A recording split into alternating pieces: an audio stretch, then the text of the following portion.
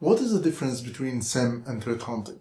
I got this question from someone on LinkedIn a few days ago. And uh, to start with, SIEM or the uh, security information and uh, event management is basically a tool. And this tool, the goal of this tool is to take, to collect all the different logs from or different uh, alerts from different uh, sources correlate this information together, search for um, correlate different information, compare them to the to the indicators of compromises coming from the threat uh, threat intelligence, and do multiple things to detect suspicious activities. The mostly it is used to correlate this information and and return a meaningful um, meaningful results out of them, meaningful alerts. It can be helpful for visualization, for data mining, and it can help as well in the incident response to investigate more on the root cause of the attack and what other uh, compromised machines.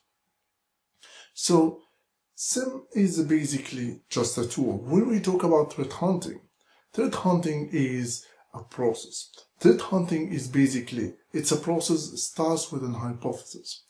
The hypothesis is, um, is mostly around that we are compromised by a specific technique or specific uh, tactic or strategy that attackers are using. Mostly it, uh, it tries to understand what types of attackers that possibly could target my organization, what's their attack vectors, what their strategies, tactics, and procedures, and we take one hypothesis that we have been compromised by one attacker and he used that strategy. Let's try to find if we are actually, if this hypothesis is true or not true. So we do an investigation based on this hypothesis. We say, we believe that the HR has been compromised by an email included a malicious attachment. Then we do investigate that we do look at the logs, we look at different, uh, uh, different data sources. We can start with logs, we can go into memory forensics, digital forensics, whatever the ways we can do to, to find out if that hypothesis was true or not true. If it's true, then we do the whole incident response process. If it's not true, then we can create a new alert and put it somewhere to be to in our SIEM later on to give us an alert if something happens. That returns back to the question or the comparison between traditional uh, traditional detection, which is alert based, which is signature based, and between threat hunting, which is human based, and it's all about hypothesis. It focuses on the attacker and focuses on and it focuses on his tactics, techniques, and procedures.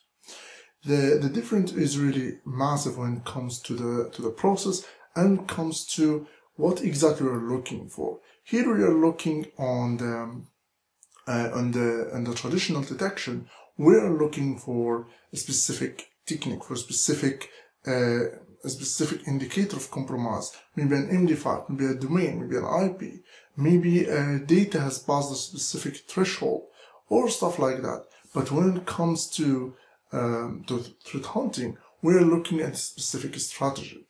The attackers used to uh, to send us a spear phishing email with an attachment. We don't know the attachment, we don't know how the email look like, but we do investigate the possibility of that.